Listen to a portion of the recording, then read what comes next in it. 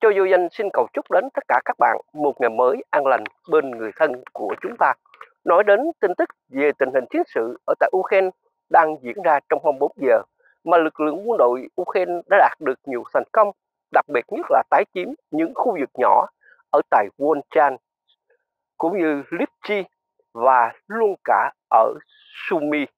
Với ba bốn khu vực này, hiện nay Nga đang chiếm lấy lên tới là 6 khu định cư của Ukraine cặp biên giới giữa Kharkov và tỉnh bên guộc của Nga. Thì chiến sự đang diễn ra khốc liệt nói đến hai ngày nay mà lực lượng quân đội Ukraine là đã dọn sạch những khu vực mà lực lượng quân đội Ukraine tái chiếm và giành lại một phần đất nhỏ. Đây là cũng một đăng cái tin là đáng mừng vui ngày hôm nay mà lực lượng quân đội Ukraine phải đáp trả bằng những đợt tấn công nói là bay đan máy bay không người lái đã tập kích vào quân của Nga. Như vậy là làm cho quân của Nga tê liệt từ pháo binh và luôn cả máy bay không người lái. Trong ngày hôm qua, lữ đoàn 110 của lực lượng quân đội Ukraine đã hạ sát trên dưới là hơn 200 quân với tất cả các máy bay không người lái và sau khi lực lượng quân đội Ukraine tái chiếm được một khu vực nhỏ này kính các bạn, thì chỉ đi lượng quân của Nga đã bị thương là bắt sống trên dưới là hơn ý rằng là hàng chục người. Hiện tại thì theo uh, y tế của Ukraine với những người tình nguyện và đưa những binh sĩ của Ukraine từ ở chiến trường bị thương đi ra thì lụm xác của quân Nga hầu như khắp nơi mà những gì người ta đang công bố hôm nay nó chỉ trong ngày hôm qua không là lực lượng quân đội Ukraine đã phá hủy lên tới 64 khẩu pháo của Nga đủ loại kính thưa các bạn dưới máy bay không người lái. Theo uh, tin tức từ lữ đoàn 10 đã cho biết là chúng tôi trên dưới là hơn 2.000 máy bay với các đơn vị từ ở kẹt son chi diện và tỉnh kiếp máy bay từ ở kẹt son bay về ở tại à, uh, Kakot và nhiều khu vực khác vì vậy, trận đánh này là lực lượng quân đội Ukraine đã đạt thành công đầu tiên nói về máy bay không người lái trong ở ngày, ngày hôm qua kính các bạn. Rồi còn lại tình hình ở tại Chachuya như sau cũng như luôn cả những khu vực mà ở um, Volchan hay là ở tại Vuleda. Nga mở đợt tấn công vào Vuleda mà dâu danh có thưa cùng với tất cả các bạn ngày hôm qua. Thì hôm nay là Nga đã thiệt hại con số đáng kể nếu quân của Nga khi lọt vào bãi mìn và Nga không đạt được thành công bắt buộc phải rút lui mà tham mưu trưởng của Ukraine, ông Siki, ông cho biết là chúng tôi đã đạt được thành công đẩy lùi các cuộc tấn công đó của Nga Nga thiệt hại ở Vuleda và luôn cả ở Sochaya, nơi con kinh đào này là một số thảm thương chưa từng có. Theo những gì từ tin tức Ukraine đã công bố trong 24 giờ thì Nga tức tốc cho Mi-31 cất cánh và còi báo động gian khắp cả đất nước Ukraine. Khắp mọi nơi thì Nga tập kích vào ở Kharkov cũng như luôn cả Chasovia và ở buleda Những khu vực này là Nga tập kích quyết liệt, quyết liệt từ bom của Nga, một trong bom xài cánh là bom lượng kính các bạn và tên lửa của Nga. Thì lực lượng quân đội Ukraine cho biết đã bắn hạ hàng chục tên lửa của Nga trong ngày hôm nay. Còn con số thương vong của người dân cũng như sử dụng xảy ra ra sao thì chưa có tin tức chi tiết về đợt tập kích mới nhất của Nga, từ máy bay không người lái và lẫn cả Su-31 cũng như Tu-95 đã quanh kích. Tình hình hiện tại cuộc chiến ở miền đông Ukraine và lẫn cả miền bắc Ukraine thì theo lời tham mưu trưởng Ukraine ông Siki, ông cho biết là nói hiện nay chúng tôi tiếng phòng thủ vẫn còn tốt và chúng tôi quyết định là sẽ cuộc phản công sắp tới. Thì hiện nay nói đến đề việc phản công thì à, bước vào tháng 6 rồi các bạn đã biết là vũ khí của Hoa Kỳ đã đến. Hiện tại hiện tại thì chưa có công bố như sau nhưng các tin tức cho rằng là Ukraine đã nhận khí tài quân sự lần lượt để bổ sung cho các đơn vị ở tiền tuyến đặc biệt nhất là với máy bay không người lái và những vũ khí tối tân mà Hoa Kỳ hỗ trợ cho Ukraine thì tin tức này Nga sẽ đạt như thế nào thành công ra sao và Nga có đạt được mục tiêu về ở miền Đông cũng như miền Bắc Ukraine hay không. Hiện tại một trong Nga là tin tức đặc biệt từ Hoa Kỳ đã tuyên bố cho biết là kiến đóng là dễ voi. Kính thưa bạn, tại sao Hoa Kỳ đặt cái tên này? Vì lực lượng quân đội Ukraine có thể nói nhỏ giống như con kiến, đặc biệt nhất là những vũ khí của Ukraine, chẳng hạn như những chiếc xuồng cảm tử, máy bay không người lái. Điều đặc biệt hơn là Nga không còn chân đứng ở đảo Crimea với các tàu chiến của Nga đã bị Ukraine nhấn chìm vì những con kiến này. Những con kiến có thể là tung hoành ở đảo Crimea thời gian sắp tới cũng như hiện tại mà chúng ta đang thấy là hạm đội biển đen của Nga không còn có giá trị, không còn cái chỗ đứng, không còn chỗ động, không còn chỗ trốn ở tại đảo Ma nữa cũng như luôn cả biển đen. Với tàu chiến của Nga thì rất là chậm chạp, neo ở ngoài khơi hay là chạy cũng chậm chạp. Vì vậy với những chiếc xuồng cảm tử mà Hoa Kỳ cho rằng đây là những con kiến lũi thẳng vào những chiếc tàu chiến của Nga, Nga thiệt hại một cách nặng nề chưa từng có.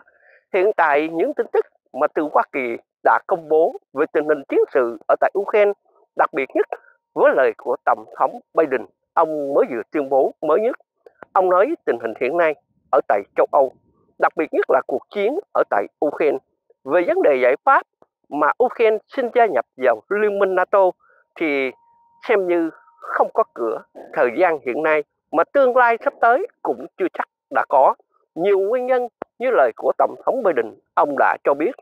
Ông nói Ukraine không cần phải gia nhập vào Liên minh NATO để làm khó khăn cho Liên minh NATO, mà là Ukraine hiện tại đã có một vành đai, tức là đã kết hợp cùng với các quốc gia đã ký kết liên minh. Như vậy là từ liên minh quân sự từ Hoa Kỳ, Anh, Pháp, Đức tất cả đã thành lập một liên minh cho Ukraine, một liên minh đặc biệt thì Ukraine không cần phải gia nhập vào liên minh NATO để làm gì trước thời điểm này hay là tương lai sau này thì chưa nói được, chưa nói trước được. Nhưng hiện tại trước mắt là Ukraine cần phải có cái liên minh. Liên minh này là liên minh quốc tế mà do Hoa Kỳ cũng như các quốc gia khác đã bảo vệ Ukraine. Vì vậy hiện tại Ukraine không cần phải gia nhập Liên minh NATO ngay bây giờ. Đó là lời của Tổng thống Biden. Ông đã trả lời với báo chí. Thì các báo chí đề cập đến ông, hỏi với vấn đề tình hình ở châu Âu hiện tại khi Nga đang bao vây về Ukraine và cuộc chiến ở tại Ukraine, có thể dẫn đến một cuộc chiến tranh đầy tâm thế chiến hay không hay là NATO phải làm cách nào và để bảo vệ Ukraine Tổng thống Biden, ông cho biết ông gửi một thông điệp cảnh báo đến NATO và cả châu Âu hôm nay. Nói nếu như NATO và châu Âu để cho Ukraine thất thủ thì xem như là cuộc chiến ở tại châu Âu sẽ bùng nổ. Và điểm chắc chắn là mục tiêu của Nga sẽ là Ba Lan, ba quốc gia ở vùng Baltic. Và còn lại đó là Hungary, Romania với những quốc gia mà giáp biên giới là giới Ukraine. Vì vậy là mục tiêu này là mục tiêu tấn công. Tôi nói quý vị nên nhớ lời của tôi nói nếu như sau này thật sự nó là như vậy thì quý vị sẽ nhìn thấy chuyện gì đến với Ba Lan. Theo lời của Tổng thống Biden, ông đã gửi một thông điệp đến châu Âu cũng như một lời cảnh báo là Nga sẽ sẵn sàng tấn công vào Ba Lan, ba quốc gia ở vùng Baltic. Vì vậy, ngày hôm nay mà Tổng thống Biden ông gửi một thông điệp này đến Ukraine và cả Hiệp hội châu Âu hãy chuẩn bị cho một kịch bản mới, một kịch bản mà sẵn sàng đối đầu trực diện với Nga trong thời gian tới. Đó là thông điệp của Tổng thống Biden. Ông trả lời với hãng thông tấn AP và nhiều hãng tin khác ở tại Hoa Kỳ qua cuộc phỏng vấn. Hiện nay, Tổng thống Zelensky vào ngày mai ông sẽ đến gặp ở Paris và gặp Tổng thống Macron. Hai bên sẽ bàn bạc về tình hình quân sự cũng như việc hỗ trợ vũ khí cho Ukraine nhiều hơn nữa và Pháp sẽ hỗ trợ cho Ukraine những loại vũ khí nào khi Ukraine có F-16. Tình hình hiện nay về ở Ukraine thì Nga đang lên di cốt tức là Nga đang lo, lo, lo sợ là khi Ukraine có được F-16 tức là ở thế thượng phong khi dàn tên lửa của Nga đã bị câm nằm và họ không thể sử dụng được thì chuyện gì sắp đến với chiến trường ở Ukraine trong vài ngày tới? Hiện nay thì chưa có tin tức là F-16 à, về Ukraine nhưng nhiều báo chí bình luận cho rằng là F-16 đã có mặt ở Romania, Ba Lan đã chuẩn bị tất cả và đồn trú ở nơi nào thì chưa có câu trả lời kính thưa bạn. Vì vậy hiện tại thì chúng ta xem như Ukraine chưa có F-16 nhưng những cuộc tấn công mà Ukraine đã kinh nghiệm thời gian vừa qua và cho đến nay để sử dụng máy bay không người lái và để triệt hạ quân Nga cũng như ngăn chặn quân Nga ở các mặt trận ngày hôm nay và đạt được thành công từ Chasuya cũng như luôn cả Voleda, Volchan, à, uh, Blipchi và Sumi thuộc miền Bắc của ở tỉnh Kakot đã đạt thành công với bay đan, máy bay không người lái này.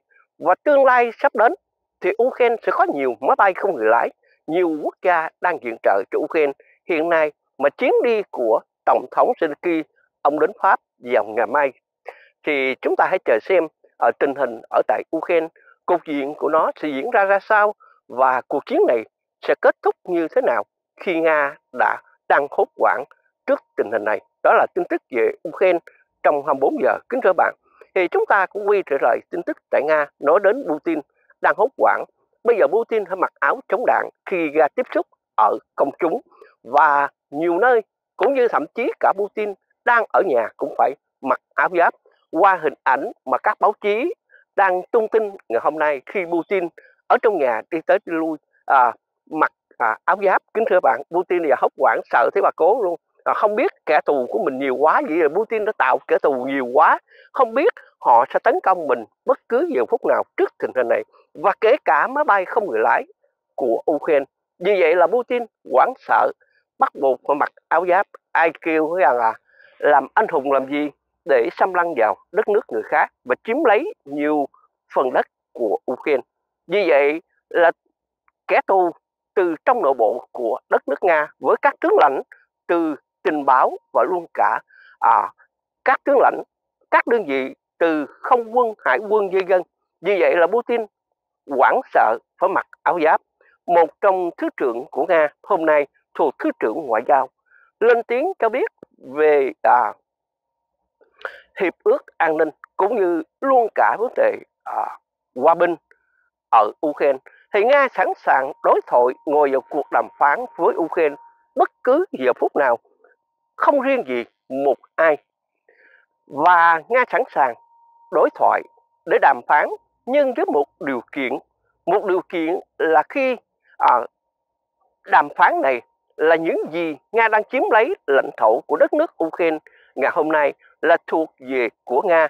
Vì vậy, đó là nếu như Tổng thống Zelensky ông ký kết thì chấm dứt chiến tranh và không còn chiến tranh nữa. Ăn cướp người ta cũng đưa ra kiến đề lý lẽ. Tại sao Nga biết rằng cuộc chiến này Nga không có lợi và bại trận. Bại trận một cách thê thảm, chưa từng có.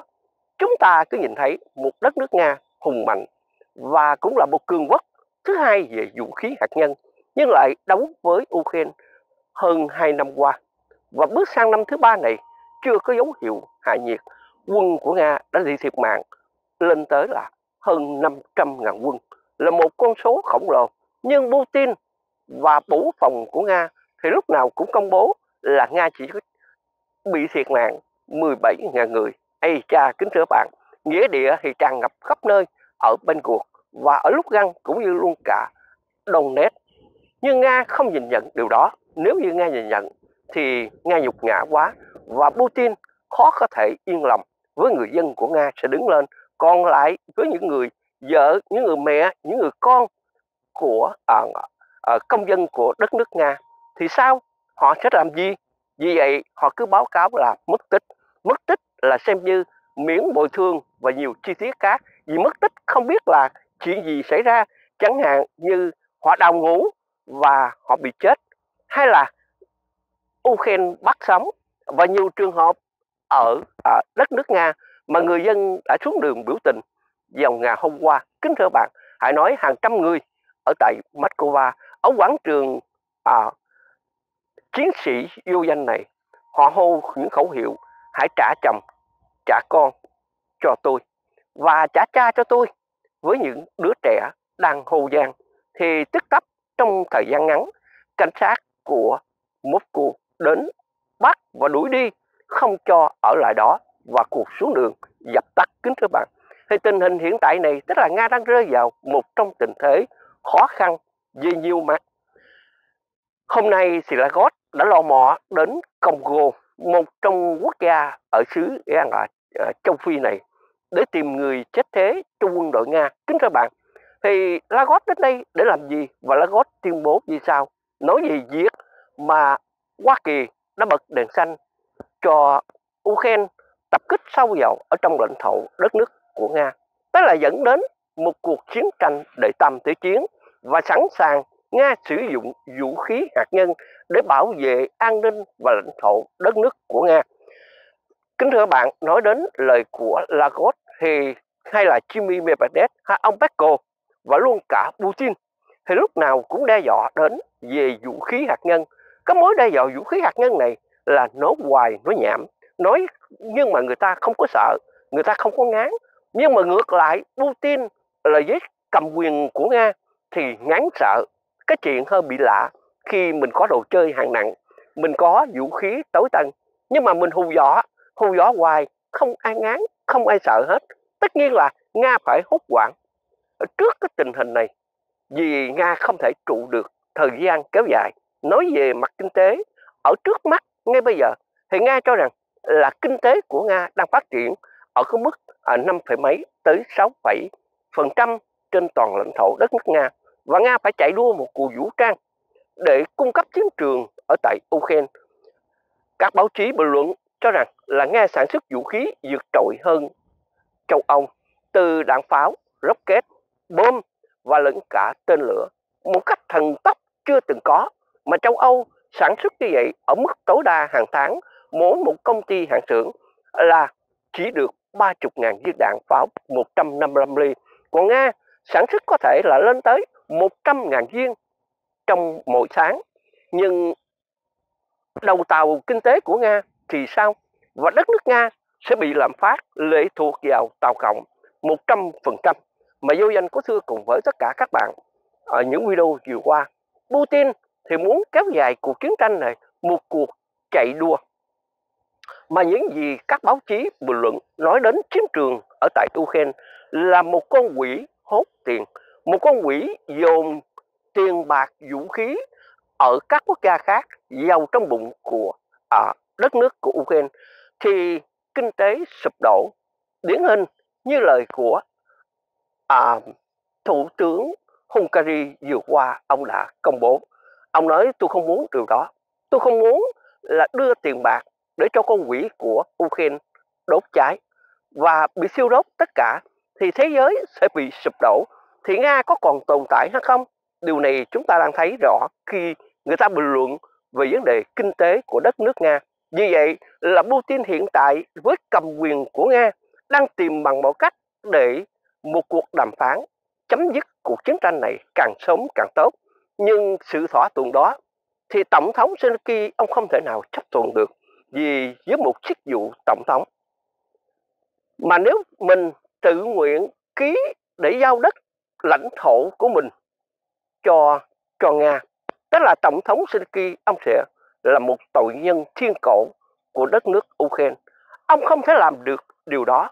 Vì vậy cuộc chiến này khó có thể là ngừng tại nơi đây mà thời gian của nó kéo dài ngoại trừ khi nào mà Nga kiệt sức thì lúc đó bắt đầu ngừng cuộc chiến tranh. Nhưng nếu như Nga chưa kiệt sức Putin vẫn còn tiếp tục là nướng quân tiếp tục để cho người dân Nga và những người trên thế giới những người những quốc gia nghèo ngày hôm nay mà Lagos đang chạy sang Congo để tìm kiếm à, quân tình nguyện với cái số lương hậu hĩnh và cho rằng từ hai ngàn rưỡi tới ba ngàn đô la. Thì quốc gia của người ta nghèo muốn chết luôn làm tháng có hai ba trăm mà. Tự nhiên nghe có người nói à, nhào vô đi lính ở sang ở đất nước nga về chiến trường ở tại Ukraine. Thì hoàn toàn họ không biết về tin tức về vấn đề cuộc chiến tranh này. Vì Nga tin tức là một chiều. Kính thưa bạn ở những quốc gia này Nga đưa tin tức đều là một chiều y hệt như Việt Nam. Chỗ nào Nga cũng chiến thắng hết. Nhưng khi đến ở chiến trường thì họ mới tái ngửa ra. Thôi rồi xong. Số mạng của mình số mạng của mình không còn tồn tại.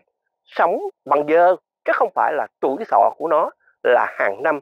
Vì vậy, cuối cùng họ sẽ là thế mạng cho binh sĩ của Nga. Họ chết, nhưng được bao nhiêu người đã đi.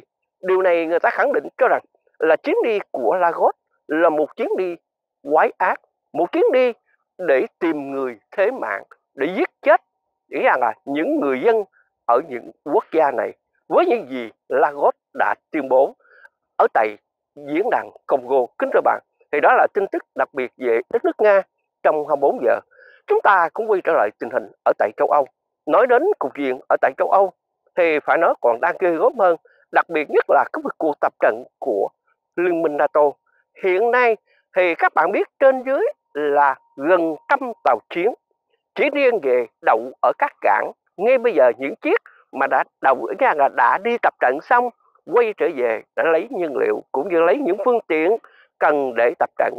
Hơn 30 chiếc tính tổng số khoảng 80 tàu chiến và khoảng 200 máy bay với 9.000 binh sĩ hải quân với uh, của Hiệp hội châu Âu 26 quốc gia. Hiện đã có mặt từ Hoa Kỳ và tất cả các quốc gia khác đang tập trận rầm rộ ở vùng Biển Đen. Sát là với ba quốc gia ở vùng Baltic.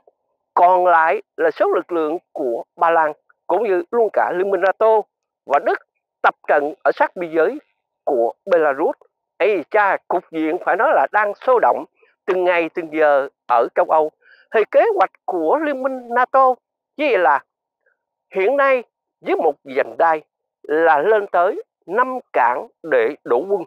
Nhiều quốc gia nằm trong Liên minh châu Âu nếu như Nga tấn công vào lãnh thổ đất nước à, lãnh thổ của NATO, Liên minh châu Âu thì NATO với dự trù sẵn trên dưới gần 400.000 quân với khí tài quân sự và xe tăng bọc thép máy bay trên dưới gần 300 chiếc là một trong loại máy bay hiện đại từ Japan B-52, F-15, F-16, F-35 và luôn cả những loại máy bay các quốc gia khác như Pháp, Anh Quốc, dân dân thì họ đã có mặt tề tụ tất cả các cuộc tập trận này làm cho Nga đang điên đảo và hốt hoảng. Vì vậy, Nga mới đe dọa đến vũ khí hạt nhân những ngày qua và cho đến hôm nay. Thì kế hoạch của châu Âu là gì? Để bảo vệ Ukraine, vừa bảo vệ được Liên minh NATO, được diễn toàn với những mũi tên mà cuộc tập trận đã nêu ra nếu như Nga tấn công bằng đường Lagos ở ờ, đường Belarus kính các bạn dòng miền Bắc của Ukraine, đặc biệt nhất là tỉnh Bi, để nối liền đi thẳng đến thủ đô Kiev, thì với năm cánh quân sẽ áp đặt và tấn công trực tiếp vào Belarus. Đó là những gì kịch bản mà người ta đã nêu ra. Vì vậy nói đến việc cuộc chiến tranh để tam thế chiến đang cận kề, hiện nay là vì Belarus có vũ khí hạt nhân. Nhưng vũ khí hạt nhân đó thì theo yêu danh nghĩ rằng là Belarus chưa thể bắn được dù rằng ở bất cứ một trường hợp nào bị áp đảo, vì sao? Vì giới máy bay của Belarus không phải là đối thủ của châu Âu, đặc biệt nhất là với hệ thống lá trắng. Hiện nay từ Ý, Pháp, Đức, Anh Quốc và Hoa Kỳ với tất cả các hệ thống lá trắng tối tân đã trực hờ sẵn. Nếu như Belarus chỉ cần có một cử chỉ hành động thì những hệ thống này bắn máy bay của Belarus rớt ở trong lãnh thổ đất nước Belarus nếu như mang vũ khí hạt nhân hay là cả tên lửa Kalin mang đầu đạn hạt nhân cũng vẫn rơi ở trong lãnh thổ đất nước Belarus. Chưa nói đến những chiếc máy bay tối tầng từ F-35, F-16, F-15 sẽ sẵn sàng trực chiến lúi thẳng vào những ở những quả à, quả tiến à, không đối bắn vào những trái tên lửa này. Vì vậy là Belarus xem như bên bờ vực ở cái là xóa sổ. Hiện tại thì tổng thống Lukashenko, ông chưa có dám bất cứ một khiêu khích điều nào mà ông cho rằng là hiện tại là từ NATO đang đe dọa đến ông. Ông sẵn sàng sử dụng đến vũ khí hạt nhân, kính thưa bạn thì hù thôi, chứ còn không có dám nhúc nhích. Nhúc nhích là chết chắc. Cũng như hiện tại, với lực lượng đối lập của Belarus, họ hiện đang tham chiến vào những cánh quân của Ukraine đặc biệt nhất trên dưới hàng chục ngàn quân ở sát biên giới giữa um, Litva và Belarus. Thì tại sao người ta ở nơi đây? Tức là họ nói tôi muốn bảo vệ Ukraine bắt buộc tôi phải ở đây. Vì nếu như không đất nước của chúng tôi sẽ bị mất do Nga chiếm lấy hoàn toàn. Chúng tôi đang chờ đợi một kế hoạch và chúng tôi sẽ phản công tự động với những dân quân này sẽ đánh thẳng vào đất nước Belarus khi chúng tôi có binh lực đầy đủ. Kính thưa bạn, tình hình hiện nay cục diện ở châu Âu họ nó càng lúc càng đang căng thẳng ở mức tột đỉnh chưa từng có. Mà Nga phải rằng là điên đầu nhức óc trước tình hình này. Và nếu như Belarus có hành động thì đường biên giới giữa Nga và Belarus xem như bị cắt đứt hoàn toàn. Belarus bị cô lập và không có đường đi. Có thể là nói như vậy từ lực lượng dân quân của Belarus, họ đang nổi dậy, đứng lên. Họ sắp phá hoại tất cả các đường ray này. Không phải mới đây, mà là đã nhiều lần vừa qua. Vì vậy là kế hoạch của nga xem như là không dám, mà chính ông Lukashenko không cho phép kính thưa bạn. Đó là chi tiết về tình hình châu Âu một cuộc tập trận của Liên minh NATO đã công bố.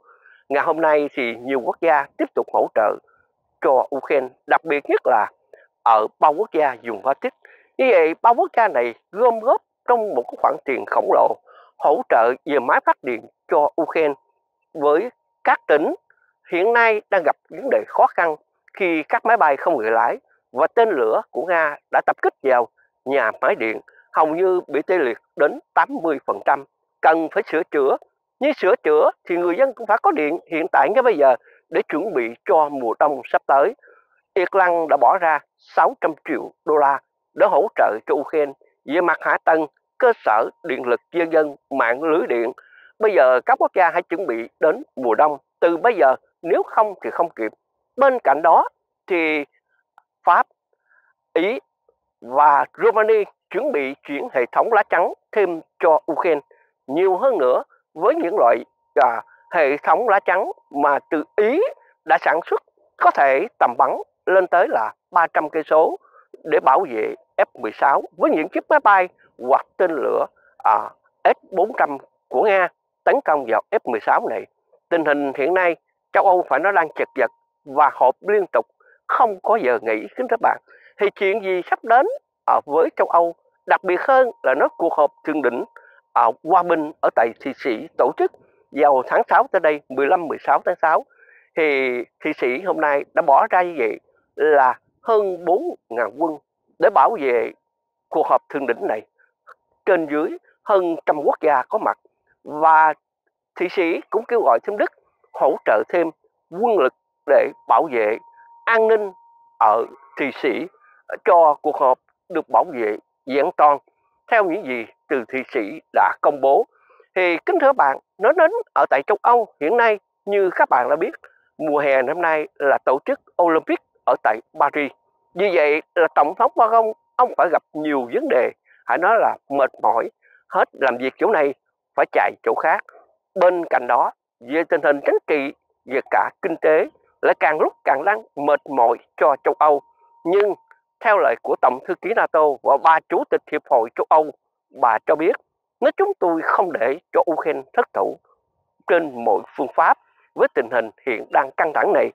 Hiện nay như các bạn đã biết, nói đến thủ tướng của Hungary thì ông lên tiếng cho biết ông sẽ một cuộc chạy đua vào ứng viên của chức chủ tịch Hiệp hội châu Âu sẽ chuẩn bị tổ chức bầu cử sắp tới.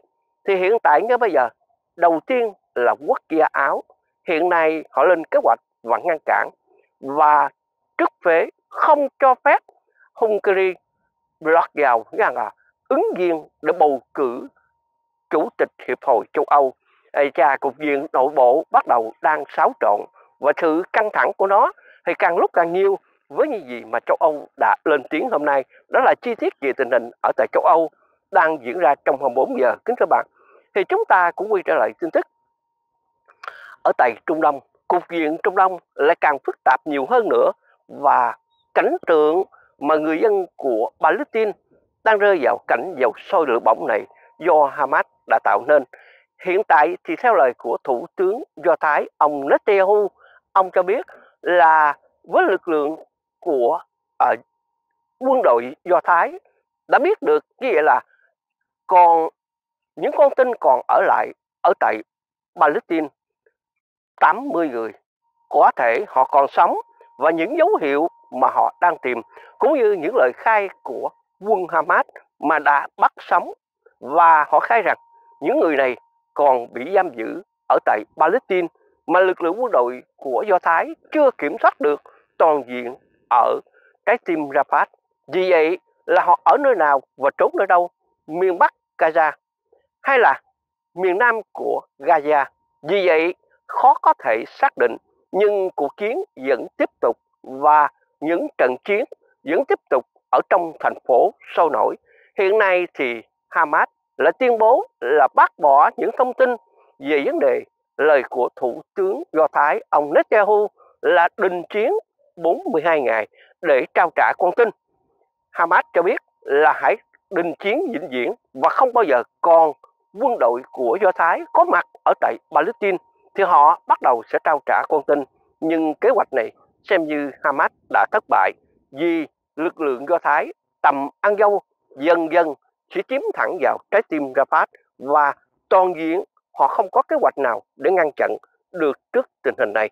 Đó là một trong tức tin tức về lực lượng của Do Thái đã công bố với còn hơn 80 con tin mắc kẹt ở tại à, Palestine và con số mà Hamas đã công bố là 43 con tin đã chết đổ lỗi cho Do Thái quân kích pháo hay là bom rocket vào những người này, những nơi cơ sở mà họ cất giấu những con tin này đã bị tử vong qua những hình ảnh Hamas đã công bố.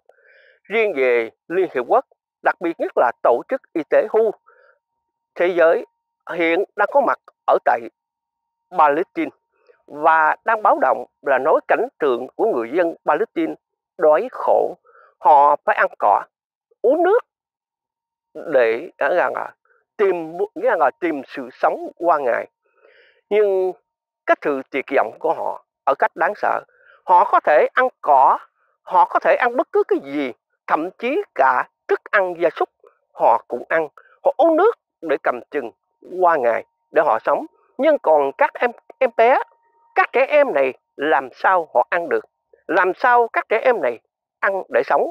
Trong khi đó, nói đến là hàng trăm chiếc xe tải À, ở các là chở lương thực và thực phẩm cũng như thuốc men để hỗ trợ cho người dân Palestine thì hiện đang đóng cửa và không cho qua ở cửa khẩu cũng như luôn cả đi vào ở bên trong của à, Rafah. Thì làm cách nào họ được tồn tại? Và theo Liên Hiệp Quốc đã tuyên bố cho rằng thời gian kéo dài nếu như hai tuần nữa thì hãy nói đến cảnh tượng mà người dân của Palestine họ chết đói diễn ra một cách đáng sợ. Đây là lời cảnh báo của Liên Hiệp Quốc. Và giải pháp này như thế nào? Chưa có câu trả lời. Vì giữa hai bên vẫn còn xung đột, giữa hai bên vẫn còn căng thẳng, ở mức đáng sợ chưa từng có. Vì vậy, tình hình người dân Palestine hiện đang kẹt ở hai làn đạn giữa lực lượng Hamas và quân đội của Do Thái chưa có dấu hiệu hạ nhiệt thì họ vẫn còn ở trong cái cảnh đói khổ trùng trùng. Mà nói đến đất nước của Palestine kính thưa bạn thì cái xứ ăn đá gà, chó ăn đá gà ăn muối là khô cằn sỏi đá. À, năm tháng quanh năm suốt tháng ít khi mưa. Thì nước ở đâu để uống? Cỏ không mọc nổi. Làm sao lấy cái gì để ăn? Ăn đá à? Nuốt rồi cũng chết. Vì vậy cảnh tượng này Liên Hợp Quốc đang báo động hãy làm tìm cách nào giải pháp nào để cứu trợ nhân đạo cho người dân Palestine ở Rafah? Đó là chi tiết về tình hình Trung Đông.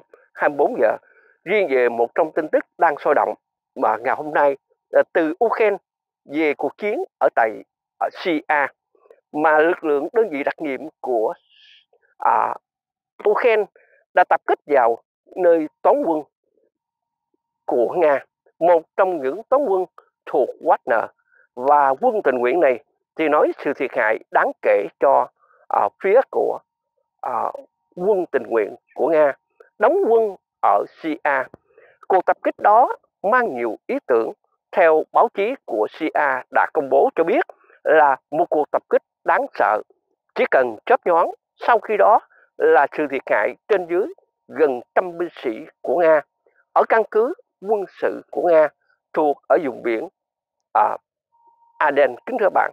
Thì các bạn biết là à, điều này có hay không nhưng mà trong khi đó lực lượng à, của Ukraine đã công bố qua những hình ảnh cũng như luôn cả đài truyền hình. Nói đến vấn đề này thì vô danh xin nhắc lại về vấn đề đầu máy bay không người lái cảm tử vào ngày hôm qua ở đài truyền hình của Ukraine đã công chiếu. Với những đoạn video mà máy bay không người lái đã quân kích vào quân của Nga ở dọc các chiến tuyến. Hầu như tất cả chiến tuyến nào cũng đều bị thiệt hại một cách đáng sợ chưa từng có. Vì vậy, theo ước tính mà Ukraine đã cho biết là trong ngày hôm qua, hơn 200 quân của Nga bị máy bay không người lái đã Nga là giết hại ở trên chiến trường từ miền Đông lẫn cả miền Bắc của Ukraine.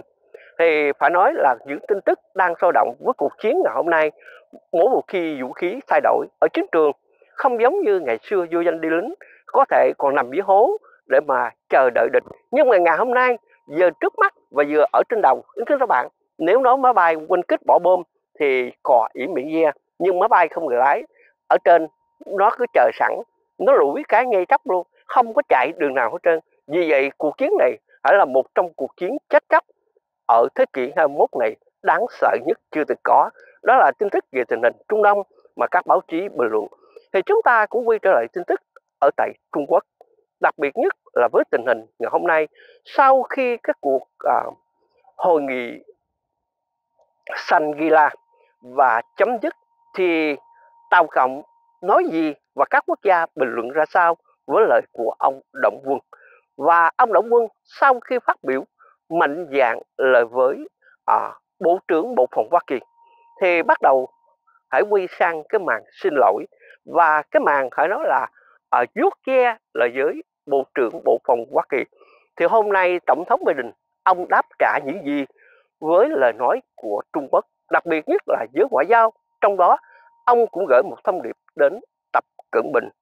Các báo chí đề cập hỏi đến ông về vấn đề tình hình ở tại eo biển Đài Loan sau khi cuộc họp à, quốc phòng à, ở tại Singapore được tổ chức và Trung Quốc đang đe dọa đến về vấn đề đảo quốc Đài Loan và không có bất cứ một quốc gia nào có thể chia rẽ và họ có thể sẵn sàng uh, chuyển sang một tình thế là giải pháp quân sự để tấn công vào đảo quốc Đài Loan.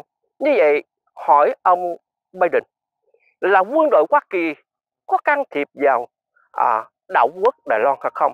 Tổng thống Biden ông trả lời rất êm dịu và nhỏ nhẹ. Ông nói việc mà lực lượng của Hoa Kỳ ngày hôm nay là có đổ quân hay không? Cái giải pháp này thuộc về cái tình trạng nhạy cảm. Tôi chưa có thể trả lời cùng một lúc